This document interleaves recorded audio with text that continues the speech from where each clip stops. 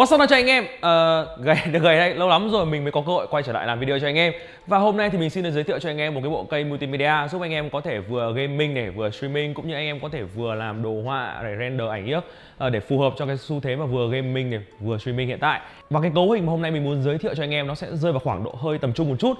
Đó là cái cấu hình sẽ sử dụng con chip Ryzen 5 1400 và cái cấu hình này nó sẽ có những gì và tại sao mình lại giới thiệu con chip này thì bây giờ chúng ta sẽ tiếp tục xem video nhé.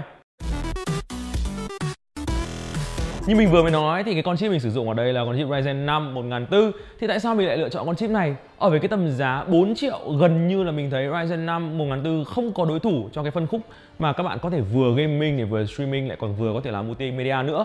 Vì sao? Bởi vì con chip này có 4 nhân thực và 8 luồng sở hữu công nghệ CCX của Ryzen. À, cái công nghệ này nó cách nôm na đó là sự tổ hợp nhân xử lý từ 4 nhân thường và sử dụng chung một cái bộ nhớ L3 giúp cho hiệu suất truy xuất nó nhanh hơn. Và bởi vì Ryzen 5 1400 chỉ có 4 nhân thực và 8 luồng Thế cho nên là cái bộ máy này nó sẽ chỉ có một cái module CCX mà thôi. À, Chính vì vậy chúng ta sẽ có thể tiết kiệm được một chút Không cần phải chạy đua RAM quá nhiều. Bởi vì nếu các bạn để ý thì các cái hệ thống cao cấp hơn như ví dụ Ryzen 5 dòng X này hay là thậm chí Ryzen 7 thì mới cần RAM càng nhanh càng tốt. Bởi vì cái sự kết hợp giữa hai cái tổ hợp module CCX nó mới cần càng nhiều RAM càng tốt. Thế nhưng mà với chỉ một cái module CCX thì cái cấu hình này nó sẽ không quá khát RAM như các người đàn anh phía trên. Thế nhưng mà nếu anh em nào mà quan tâm đến cái việc mà sau này mình có lỡ nâng cấp lên một cái con chip Ryzen nó cao cấp hơn, thì anh em có thể tham khảo cái bộ RAM mà mình cắm vào đây. Đây là cái bộ RAM Adata. Cái bộ RAM này có tốc độ là 3000 MHz và có cả red RGB đẹp đẽ các thứ ngon lành luôn. Và với giá khoảng độ là, hình như mình nhớ không nhầm là có 5 triệu 6 đến từ An Phát. Có 5 triệu 6 RAM càng ngày càng như Bitcoin anh em ạ. Bây giờ mua RAM tích trữ hay hơn là Bitcoin. Quay trở lại với con chip Ryzen 5 1400 thì đối thủ trực diện của nó trong phân khúc khoảng 4 triệu đó chính là con chip i5 7400 tới từ Team Xanh. Và con chip i5 7400 thì như các bạn đã biết, cái con chip này nó sẽ hỗ trợ cho anh em chơi game rất là tốt cũng như là xung nhớ rất là cao. Tuy nhiên là cái yếu điểm của con chip này so với cái cấu hình Ryzen 5 1400 đó là nó chỉ có 4 nhân thực và 4 luồng mà thôi. Chính vì vậy, cái số luồng nó thấp hơn cho nên là cái khả năng khi anh em mà vừa gaming này, vừa streaming cũng như anh em làm các cái tác vụ, ví dụ như là render video này, những kiểu như ông Linh Trần render video này, thì nó sẽ chậm hơn.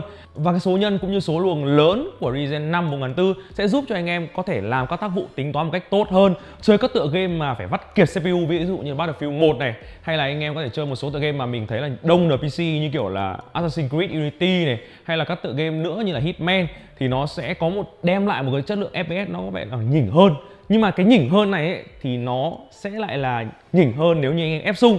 À, nói đến vấn đề ép sung thì đây cũng là một cái ưu điểm của Ryzen 1400 so với con chip i5 7400 bởi vì con chip i5 7400 thì hầu như anh em không thể ép sung. Còn cái con chip Ryzen 1400 thì anh em có thể ép sung một cách rất dễ dàng. Và nếu anh em đầu tư bộ nguồn nó ngon ngon một chút thì anh em có thể ép sung lên lên từ cái xung nhịp gốc là 3.2 GHz, 3.4 GHz lên đến khoảng thậm chí là 3.8, 3.9 mà nếu may mắn một chút thì anh em có thể ép sung đến tận 4.0 nhưng mà mình thấy là rất ít ông có thể ép sung lên được 4.0 GHz. Đấy chính là điểm sáng giá mà mình sẽ chọn con chip Ryzen 5 1400 ở trong tầm giá này. Anh em sẽ vừa có cái khả năng multimedia tốt này, render tốt này. Anh em sẽ vừa có khả năng ép sung cực kỳ tuyệt vời này. Quá nhiều ưu điểm luôn và mình sẽ vote sang cho anh em chọn team đỏ hơn là thay vì team xanh. Sau khi mà nói qua một hồi về cũng như là ra này nào là chip này là main thì à, mình sẽ cắm thử con cạc vào và mình sẽ test thử cho anh em chơi một số game cũng như là render một số video mà mình đã sử dụng với cái cấu hình này nhá. Ờ, hơi lổn nhổn một chút nhưng mà mình ờ, sẽ sử dụng cái con cạc ừ, RX580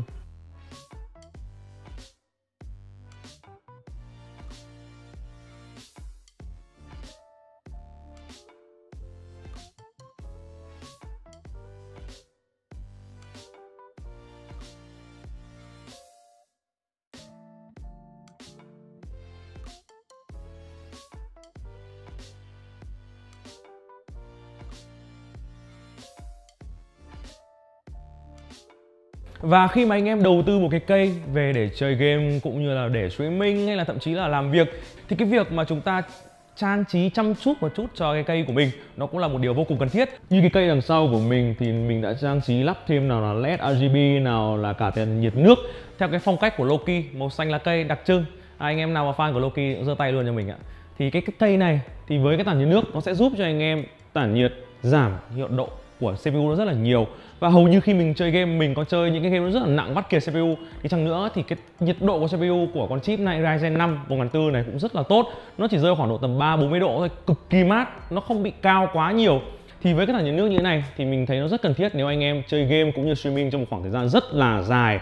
Nó sẽ giúp cho anh em kéo dài cái tuổi thọ hơn và mình sẽ recommend cho anh em là sẽ lắp thêm cái tản nhiệt nước này.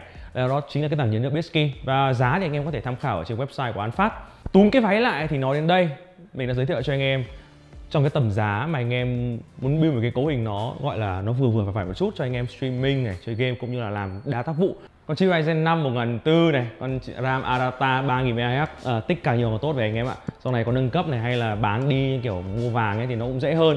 Và nói chung là cả cái hệ thống tản nhiệt nước này nữa. Các bạn có thể thay đổi một chút về phần nguồn hay là về phần cảm hình. Anh em có thể nối với lại cái card 1050 Ti cái mình thấy cái card đấy là bây giờ PP rất là tốt. Kết hợp với Ryzen 5 1400 thì anh em sẽ có một hệ thống streaming cũng không quá đắt. Mình nghĩ là như vậy tất cả các sản phẩm này thì mình đều mượn từ Anfast PC và anh em có thể tham khảo website của Anfast PC để xem giá cũng như là chế độ bảo hành cũng như là dịch vụ vận chuyển À, đến đây là hết video rồi. Nếu anh em có bất cứ câu hỏi hay comment gì hãy tiếp tục comment bên dưới cho mình nhé. Còn bây giờ xin chào và hẹn gặp lại cho anh em các số video lần sau. Bye bye.